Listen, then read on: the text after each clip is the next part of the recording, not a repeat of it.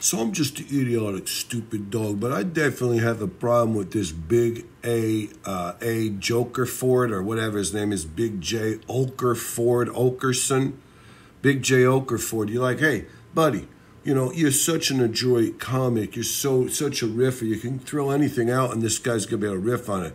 And, and you know, he's just got that thing where he's so spontaneous. He can babble on, uh, you know, and just squeeze every drop out of every little situation. Drops nobody else knew were there. You know, it's even cool when he asks when Big J Oakerson. He'll ask uh, part of his thing. He'll say, uh, "It's cool," and he says do you work in the field you studied in college? Oh, hilarious. That's gut splitting. Do you do what you were going to college for? Oh, it sounds cool when Jay says it, though. Believe me.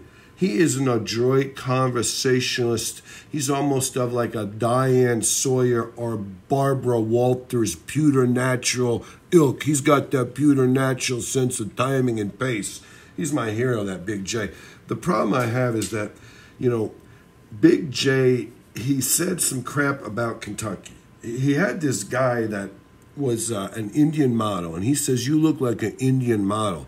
And then Big J says, eh, I don't know if that's a compliment. It's kind of like saying, ah, she's a Kentucky 10. You know what I'm saying? A Kentucky 10, you know? You got all your teeth, Big J, says. You know, Big J, that's the low hanging fruit situation. You know, that's the one thing that you know, you don't want to be a purveyor of the obvious, of the rudimentary, you know, like the third grade level kind of. You want to be, you don't want to be a purveyor, whatever you call it, where you're just down there among the low hanging fruit. It's too obvious. It's too stupid. But since you cracked that joke, remember, I'm an idiotic, stupid dog who lives in a beautiful, elitist neighborhood in western Kentucky. I've been all through, spent a lot of time in southeast Kentucky, you know.